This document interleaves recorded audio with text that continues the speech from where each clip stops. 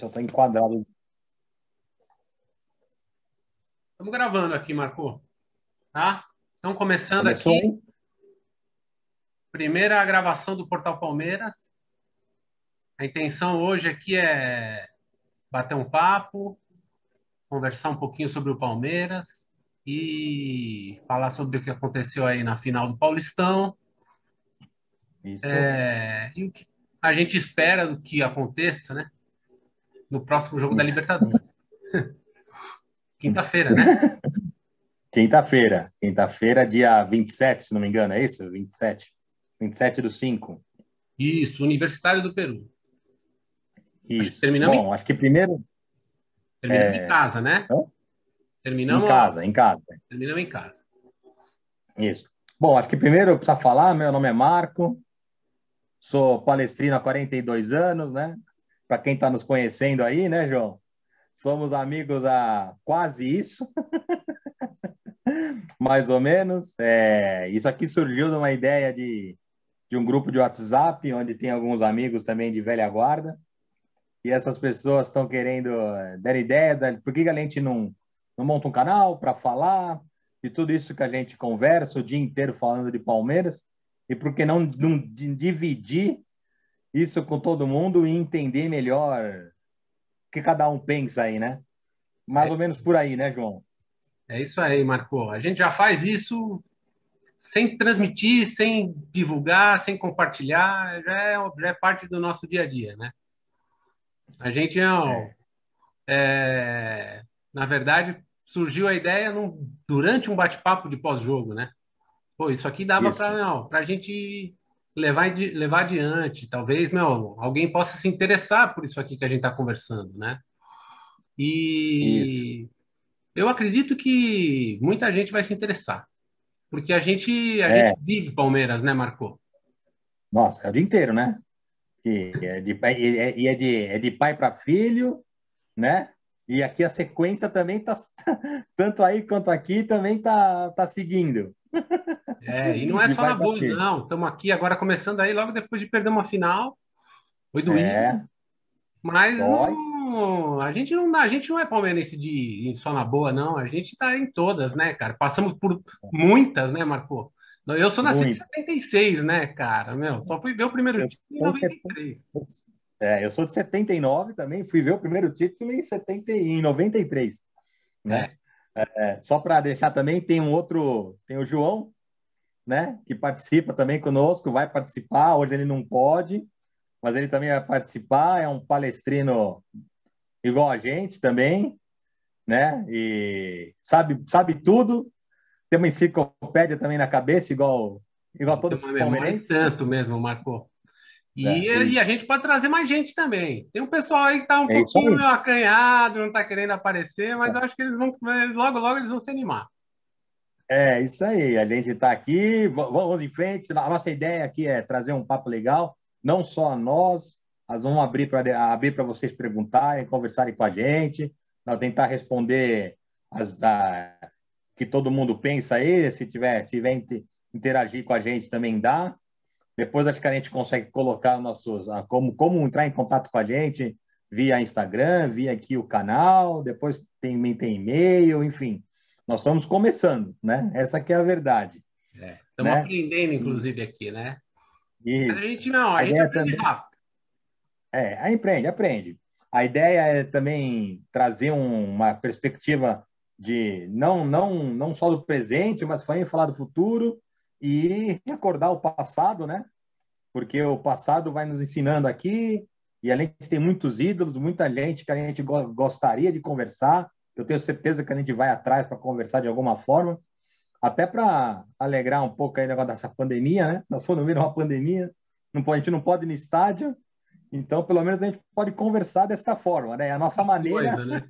Um ano como meu, o de 2020, a temporada de 2020, 2021, e nós não pudemos assistir uma dessas finais, né? Que Nada, coisa. nada. Ó, É, eu, eu moro no interior de São Paulo, então, pra você ter noção, o último jogo que eu fui ver foi Palmeiras e Ferroviária de Araraquara. Em Araraquara. Acho que foi a estreia do Ricardo Goulart, pra você ter noção. Eu tô aqui do lado, aqui, mas não adianta muito. Não adianta muito. Que tá fora do Brasil. É. A gente só acompanha a distância hoje. Nós tivemos uma final de Libertadores no Rio de Janeiro, com dois times brasileiros, e não pudemos ir. Mas tudo bem. Ah, e eu tenho. Parte. E eu tenho, meu, eu tenho uma pessoa aqui que eu pretendo um dia trazer aqui para conversar com a gente aqui, que, meu, ele esteve lá, hein? Se aí, ele quiser um dia, aí. eu vou trazer ele, que ele, não, ele é. foi lá para o Rio, é amigo é. nosso, e, não, e é capaz dele aparecer qualquer hora aí. É isso aí. Vamos falar, vamos falar com pessoas e vamos trazer ídolos e vamos, vamos seguir em frente. Bom, vamos falar um pouco aí do que aconteceu, né? Acho que muita gente quer, quer escutar do que aconteceu no, no fim de semana. Eu acho que é válido, né? É, perdemos, perdemos, perdemos, mas só perde quem chega, né? Só é vice quem chega também, né? É. Essa história de é vice, é vice, é vice, é tudo dor de cotovelo, é os que não chegaram. Chegamos é em seis, ganhamos três. É, nós estamos ali né? É importante eu, chegar. Dessas três, eu só trocava uma. Eu é. preferiria ter ganhado essa do São Paulo do que ter ganhado a do Corinthians, mas só por um motivo. Nós já cansamos de ganhar título em cima do Corinthians. É, cansamos. E eu nunca vi uma final Palmeiras e São Paulo a gente sair campeão. Mas é, é. só por esse motivo. É tão gostoso Sim. quanto ganhar em cima do Corinthians. Sim. Mas é que a gente ganha deles toda hora, né, cara? Não tem... é, é ali, ali, ali já virou freguês, né? Eles não admitem, mas eles são, cara.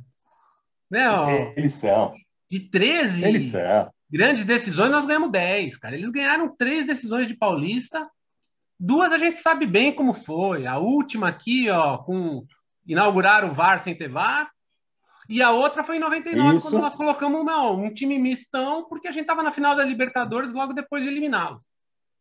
Isso. E mesmo assim, eles, eles, eles ficaram com medo, porque a gente dá uma pressãozinha, que depois quebrou o pau. Mas a gente jogou bola, mesmo com.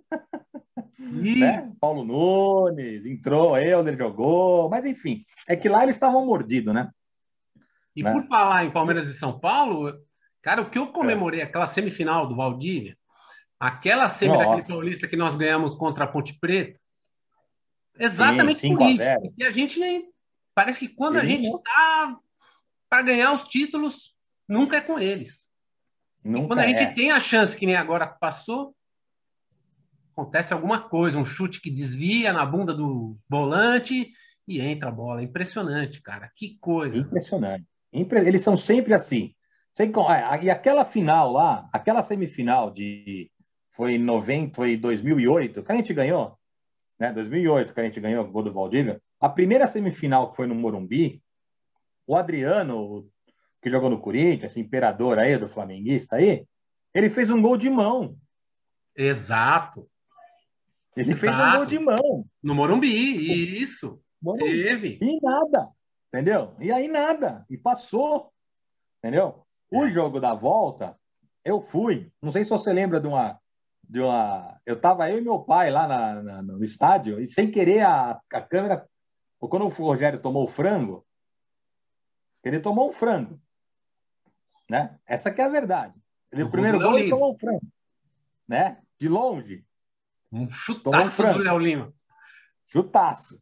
É, Mas é, a bola sem querer, é, a câmera da, da, transmissão bateu assim, assim na, na, na, na arquibancada lá, numerada, e, e pegou eu e meu pai. Ah, é? Quando eu, fui, é, quando eu fui ver o celular, tinha 300 mil mensagens naquela época, era SMS, sei lá o que, que era. Ah, o WhatsApp não é. É, WhatsApp não é. é. Tinha 300 mil mensagens falando, pô, tá na Globo, tá no jogo, tá na televisão. Eu lembro disso. E lembro muito bem do Valdívia fazendo gol e, e fazendo assim pro Rogério Ceni que foi, que foi lindo, né? Eu estava Mas... com meu pai, meu irmão, no litoral de São Paulo, assisti à distância, saí não assisti no estádio, mas foi, para mim, foi muito especial aquela semifinal. Eu tem, tem, tem decisões que são mais importantes que títulos para mim. Tem. Uma delas. Pô, pô, pô, uma delas. É, é- essa é uma delas. E a Até final. porque a gente vinha numa fase horrível, né? É, difícil, né? Difícil de encarar, né? A gente vinha de rebaixamento, Tinha caído, Né, tinha subido, vinha- vinha tropeçando. tropeçando, as finanças, eu não sei como é que está hoje, mas acredito que esteja melhor do que naquela época, né? Além de, além de tinha outros, ou- outros dirigentes lá, agora não lembro o nome, também não vou ficar citando o nome aqui. Se eu não me não sei, engano, mas- pouco antes daquela, daquela semifinal, teve aquela história com o Wilsinho, que eles tomaram o Wilsinho não, da base do Palmeiras. Não sei se você lembra disso. Então tava um Isso, negócio lembro meio daquela- tenso até. Lateral direito. Isso, exatamente. Por sinal, acabou, né? Não Nunca mais escutei falar também. Não, não, acabou. Não, nunca mais escutei falar. Não sei onde está. É, não, Não tá eles a fizeram isso, meu, só para a gente, só para enfraquecer o Palmeiras. Eles nem precisavam do, do lateral. Nem precisava do lateral. Mas eles são são, são, são, são desse jeito. Por isso que ganhar deles é, é, é bom, é bom demais. É, teria, Mas perdemos, né? é, teria sido bom. né? Voltamos, perdemos. Mas É, perdemos, perdemos porque- ainda bem que foi depois de, de ganhar três títulos, bem fresquinho ainda na memória do torcedor, porque senão acho que a pressão ia estar insuportável. Ah, sim, né? Lá não tá fácil. torcida, meu, ela tem memória curta, né? Tem, tem. Parece que já foi há uns anos os títulos. né? É. Eu acho que bate mais, João. É, vou, vou chamar de Paulo, porque vai ter outro João, aí o pessoal vai confundir. Pode chamar de Paulo. Então, Paulo, porque acho que porque a gente veio da, lá da, da Copa, da Recopa, né? Da é, a Recopa Sul-Americana e a Copa lá, aquela É do, do Flamengo. Isso, pô, que que tá, tá mais vivo, né? E, o palmeirense, o palmeirense é, é emocional, né? É emocional demais, né? O sangue ferve, né? E aí complica, né? Bom, bom, eliminamos, eliminamos Dois títulos ganhos, né, Marco? É, Os dois estavam, meu, na nossa mão. dois, Essa foi a dois. situação Aquele, que complicou ali. é, Os os pênaltis, tiraram o doce da boca da criança, né? É, mas não, mas não, não- mas tem que contar também contra o Flamengo que lá também teve um pênalti lá em cima da linha que não deram pra gente. E nós Né? jogamos muito mais bola, hein? Jogamos muito mais bola. O, o, o Palmeiras jogou solto, era um time mais leve, né? O que, que aconteceu O- daquele jogo para esse último, hein? Eu não sei, eu acho que assim, ó, os outros times aprenderam a, a marcar o Palmeiras, na minha opinião. O Flamengo tá aprenderam o jogo, aprenderam o jogo, os outros estudam também, né? Os outros estudam, assim, o... E é complicado, né? Se a gente não, se a gente não propõe o jogo, se a gente não propôs o jogo em nenhuma partida, nem na primeira, nem na segunda. Nós não propusemos o jogo. Então, não, e a a gente não propõe o jogo. Não tem jeito, a gente tem que esperar o adversário propor o jogo. Isso é uma coisa que eu não gosto, não, não gosto mesmo. É difícil para o palmeirense aceitar, né? É difícil porque a gente sempre propõe, propõe, propõe. O corintiano gosta. Ele também não propõe jogo. O Corinthians nunca. Você vê que eles gostam de jogar na defesa. Mas o Palmeiras tem que propor jogo, o Flamengo tem que propor jogo, o Santos tem que propor jogo, o Cruzeiro se propõe jogo, né? O, o Inter se propõe jogo. São, são times que propõem. historicamente. A- a- a né? gente- historicamente, né? Lógico, ela- a, to- a torcida é acostumada àquilo, É. né? Então, se a gente não propõe, se a gente não tem um Veiga, um 10 que joga, a gente precisa ter um 10 que joga. A gente precisa ter um Ademir da Guia todo jogo. Entendeu? Não dá? Não dá. Mas pelo menos eles têm que ter um, né? Não, Um eu acho que brilho, uma das maiores diferenças é que quando a gente enfrentou o Flamengo, a gente enfrentou o time que sai para o jogo. Quando o São Isso. Paulo não se propôs a ficar ali, ele não avançou as linhas de zagueiro em nenhum momento. Nenhum momento. Quando a, meu, quando a linha. O, o- um, pouquinho, um pouquinho do que o São Paulo fez, o Independente Del Valle chegou a fazer também. Não no primeiro jogo que eles tomaram uma sacolada. Mas o, É. no segundo jogo, eles avançaram o goleiro, inclusive para fazer uma função meio de líbero, o goleiro, e seguraram a linha de zaga mais lá atrás. É. Aí o espaço para o contra-ataque fica reduzido. A bola, ela precisa ser muito justinha para ela entrar, essa bola longa. Sim. O espaço é muito é. mais curto. Agora, é, quando, que eu vejo... quando os zagueiros do time adversário avançam quase que no meio campo, aí o Rony deita e rola. É, aí, aí a velocidade, aí é outra coisa. Né? Aí o jogo encaixa. Só que assim, quando, quando, como a gente precisa, quando a gente não tem isso, a gente precisa do quê? A gente precisa jogar pelas pontas, a gente precisa de alas que jogam em bola. E a gente não tem. É. Faz dois anos que a gente está falando que a gente não tem lateral direito e não tem lateral esquerdo.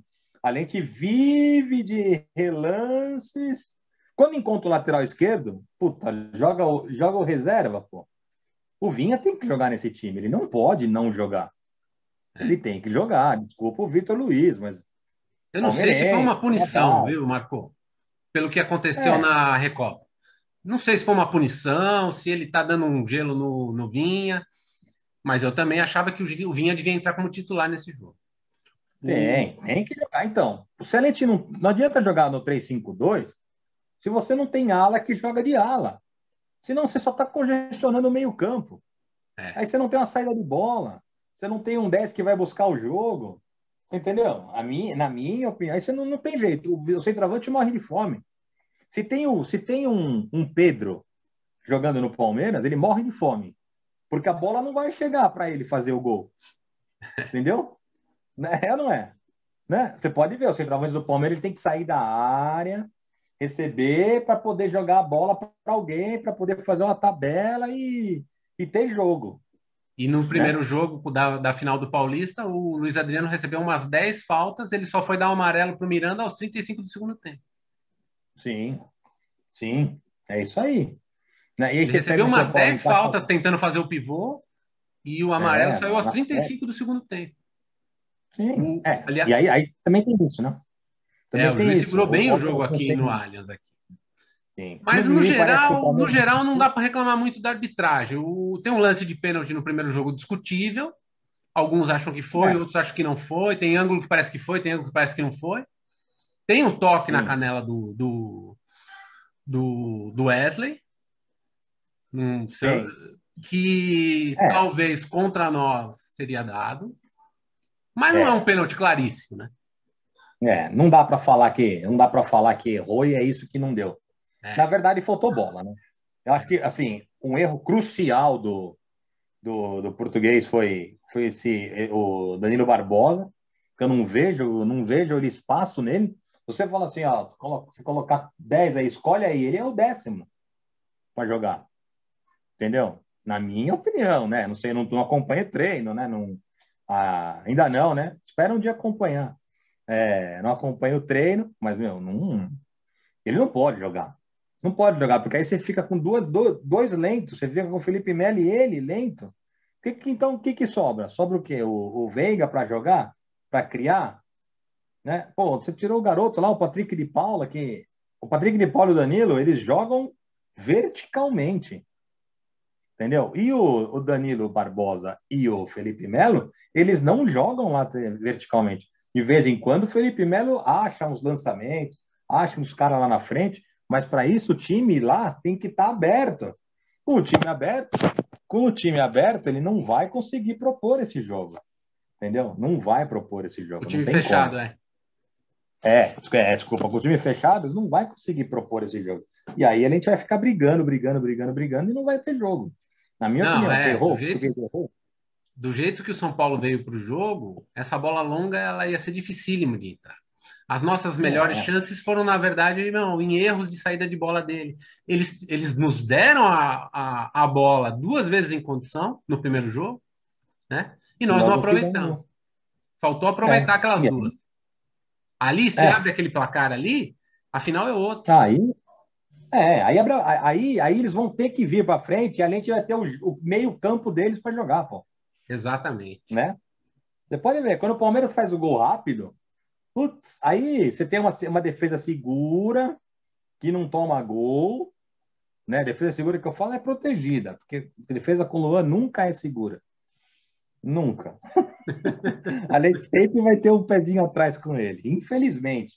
Mas acho que ele é um cara ele pode ser um bom jogador, ele tem um talento, ele é campeão olímpico junto com o nosso goleiro, né? Porque ele era do Vasco, né? Ele é campeão olímpico, ele jogou as Olimpíadas, né? Há É quatro por anos isso- atrás. cinco- É por isso que eu testaria o Felipe Melo ali no lugar do Luan e um meio-campo mais corredor, um meio-campo com Danilo, Patrick de Paula. É, e é- isso, isso é um tema bom para a gente para uma próxima conversa, mas tem que estar o João. É, Porque o João, ele, ele defende o Felipe Melo como volante. E aí a gente precisa ter esse contraponto. Eu e você, nós concordamos nisso aí.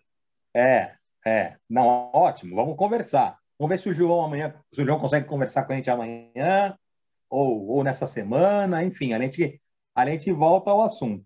Mas só para a gente encerrar sobre o São Paulo, para a gente falar, né, para frente e, e, não, e como é o primeiro, né, nós vamos aprendendo aqui. É, eu acho que assim, faltou bola, mas, meu, bola para frente. Vamos lá, a gente fica nervoso porque perdeu, né? Não tem jeito. Quem não ficou? Quem dormiu bem domingo? Ninguém. Ninguém, ninguém dormiu satisfeito. Todo mundo todo... Eu pedi fora a Bel, mas calma, também não, né? Ah, né? Mas tudo bem. Então, assim, eu acho que para a gente, pra gente mudar, mudar o assunto, porque passou, já foi, e a gente tem um ano inteiro pela frente. Isso aí, Tem bola para campeonato. frente. Acabou. Né? Valeu. Disputamos, Temos chegamos Os na três final. mais é importantes estão por vir, certo? É isso aí. Copa do Brasil, Isso daí, Brasileira e Libertadores. Isso daí. Nós vamos disputar isso. Então, vamos falar da Libertadores, né? Que nós vamos jogar aí essa semana contra o time peruano. Deu tempo, A né? Ideia- descansar todo mundo, né? Porque aqui tá É, quinta-feira. inclusive, inclusive, eles estão de folga, né? Eu acho que volta amanhã. Né? Deram, deram folga de dois, três dias pro pessoal, né? Para poder, né? Espero que não estejam, não, não- espero que eles estejam descansando mesmo, né? Porque o ano não vai ser fácil.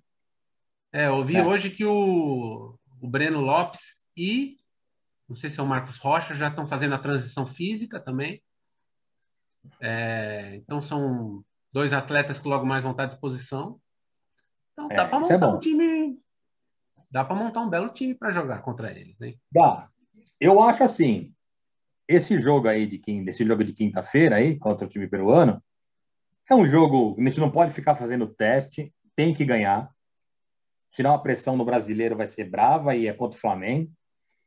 É a primeira final, porque meu, o Flamengo, o Flamengo é o time que vai disputar teoricamente, né? A gente para para pensar quem são os quem são os os os favoritos aí a título no brasileiro, Palmeiras, Flamengo, Atlético Mineiro, um pouco do Internacional, um pouco do São Paulo, né? Não vai fugir muito disso aí, entendeu? Não, Pode ser que a gente tenha alguma foge. surpresa, né? Pode ser que a gente tenha alguma surpresa de um time ou outro, mas não, né? Não vai fugir muito. Então, Não acredito em nenhuma é surpresa contra- além dos times que você falou, não, Marco.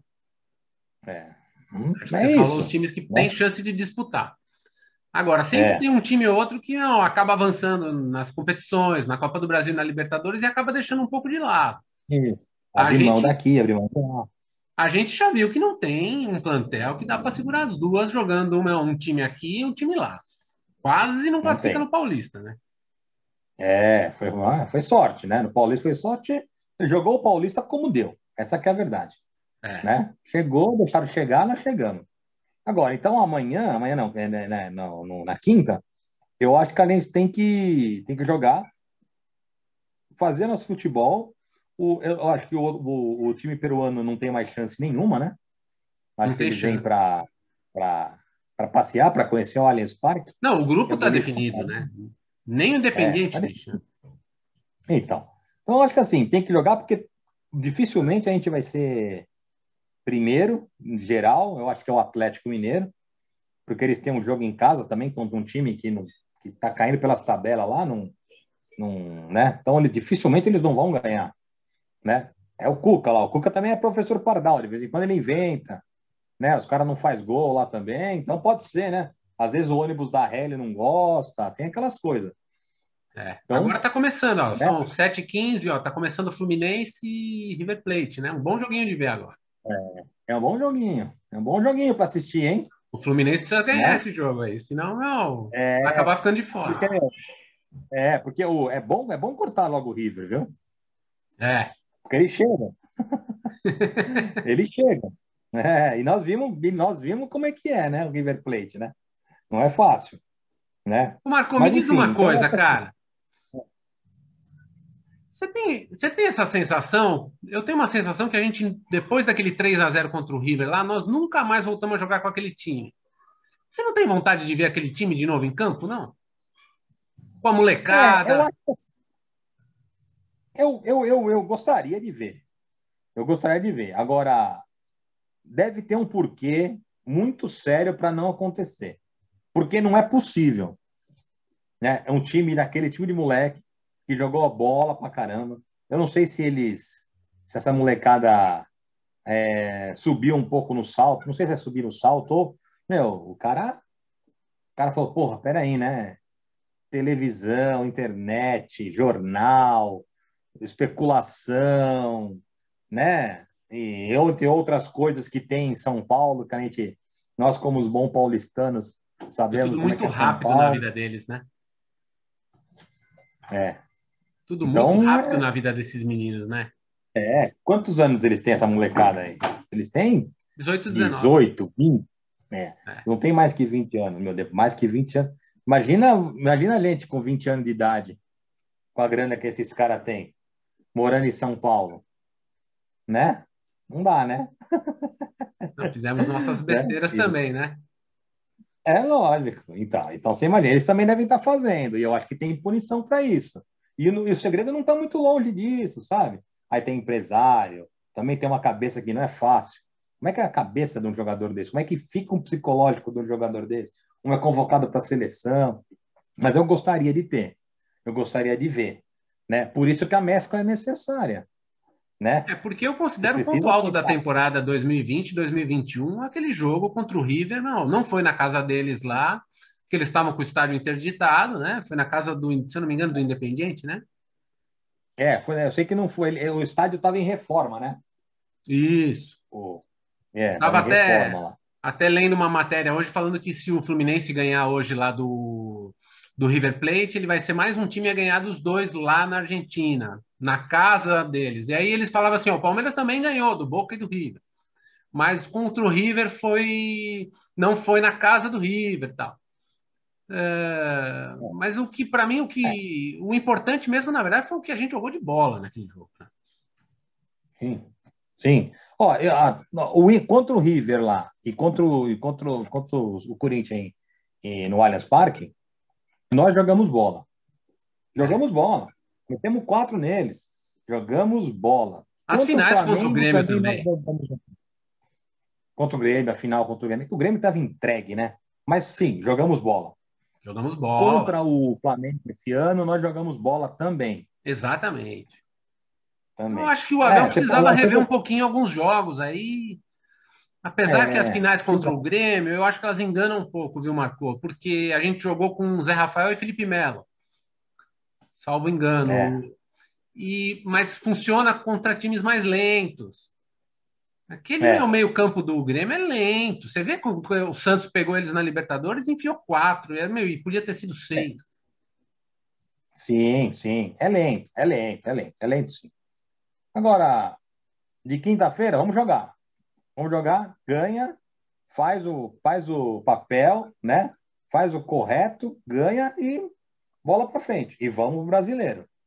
Entendeu? É isso aí, vamos pro brasileiro. Depois eu não sei quando é que é a Libertadores, não vi quando é que é? Vai ter sorteio, provavelmente, né? Que acaba, né? Essa semana acaba a última fase, aí vai ter um sorteio, né? Vai ter o um sorteio. Torcer aí para não pegar, não pegar uns carne de pescoço, né? Porque vai ter, ah. vai ter bastante carne de pescoço. Se eu pudesse apostar, eu diria que a gente vai acabar pegando Defesa e Justiça. Nossa, não, Mas eu não gostaria não de pegar nem o Defesa e Justiça, nem o São Paulo. É, também não. Tem boas chances de classificar em segundo. Tem, tem, tem, tem. O próprio River Plate tem chance de classificar em segundo. River e o Boca também. é. Ó, ó, que beleza. Né? Não é fácil, viu? Porque vai passar Palmeiras, Atlético. É, Palmeiras, Atlético e Flamengo em primeiro. Né? Aí depois tem esses caras de pescoço aí, ó. Boca, River, São Paulo, é. né? Não é, não é fácil. Libertadores é Libertadores, né? Boa demais, né? Boa Delícia, demais. né? Por isso que é tão bom ganhar. Isso que é tão bom ganhar. Boa demais. Bom, falamos, falamos sobre o jogo de quinta. Agora vamos falar um pouquinho do, do que a gente acha de, do início do brasileiro. Acho que não dá nem para falar do jogo, porque a gente não sabe como vai ser, né? Quem vai jogar. Eu acho que a gente tem que falar um pouquinho do início do brasileiro, né? Do que, que é o brasileiro, né? O Campeonato Brasileiro, que é um dos mais difíceis, mas ele está ficando cada vez mais seletivo, né? É, ele já estava ficando seletivo, na minha opinião, por causa de por, por grana, né? Porque não tem jeito, você pode ver que quem tem grana está na ponta, quem faz loucura de grana está na ponta, no, mas no não vai se manter, né? Mas você vai, nós vamos bater aí 10 anos, se não tiver nenhum acidente, nós vamos falar de Palmeiras, Flamengo, Atlético, né? Não sei quanto tempo aquele, quanto tempo o Atlético vai ter esse fôlego, mas Palmeiras e Flamengo com certeza vai estar sempre entre os cinco, né? Aí, eu, na minha, na minha visão, se não tiver nenhum problema. Eu acho que o né? Grêmio também vai se levantar. O Grêmio. O Grêmio, o Grêmio é um time que financeiramente ele parece ser bem equilibrado. Pode ver que eles não fazem é. loucura. Talvez agora. Não, eles com, vão ele com, com o Costa eles estejam fazendo um pouquinho de loucura, tal. Eu não sei qual o salário que ele está chegando, tal. Mas se eu não me engano foi um dos únicos times no, na temporada 2020 que conseguiu equilibrar um pouquinho a, a balança das receitas e despesas, viu, cara? Então, é. cara, vou te falar, nesse, nessa atual circunstância, isso vai fazer uma diferença grande lá na frente. Então, acho que o Grêmio a gente pode colocar também aí na frente. Sim. Então, ó, é, e, é, e é isso. Então, acho que assim, só que esses times, todos esses times que nós falamos, só o Grêmio que não disputa a Libertadores, né? É. Né? Então, ó, Inter, Palmeiras, é, Atlético, Flamengo, disputa Libertadores.